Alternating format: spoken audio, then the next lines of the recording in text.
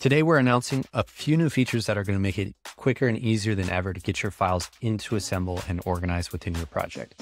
So to start, I've created this empty project here with a few tasks. And if I open up these tasks, first thing you're going to see is that I can take some files from my desktop and just drag them directly onto the task to start the upload.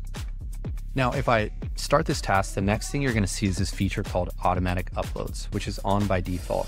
And this means that as soon as that upload is completed, it's going to automatically add it to the project without me needing to manually press save. So if I get up, leave my computer for a long upload, I don't have to come back and manually confirm the upload. It will just upload as soon as it's done.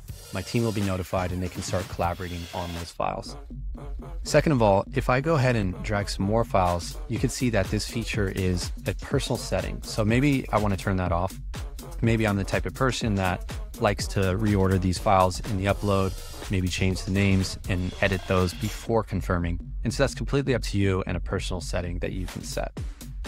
Next, let's say that we want to add some other file types into these tasks. So let's go into this location scouting task. And up here, you can click attach files and now upload new files directly here. And let's say that we got a link to another uh, Google Drive. So we want to add that as a bookmark.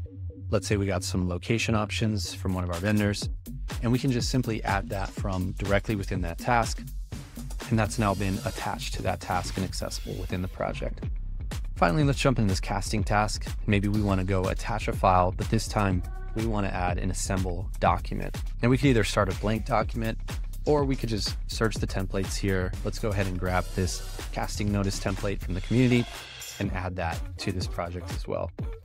And so you can now see how quick and easy it is both to upload your own files and to create your own documents and bookmarks and more directly within Assemble's calendar.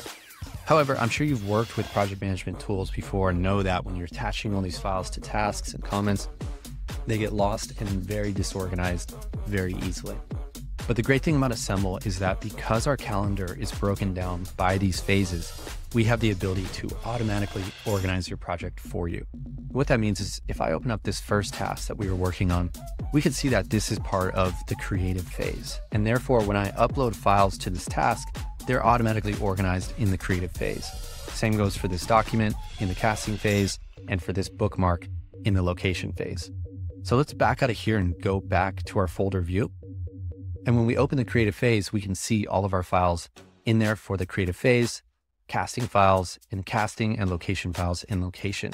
So everything is perfectly organized in this beautiful presentation and you can work quickly and efficiently within the calendar and never have to worry about doing the manual organization yourself. Finally, we've also added drag and drop into the folders as well. So you can just drag assets directly into the folders to upload them directly into your project as well.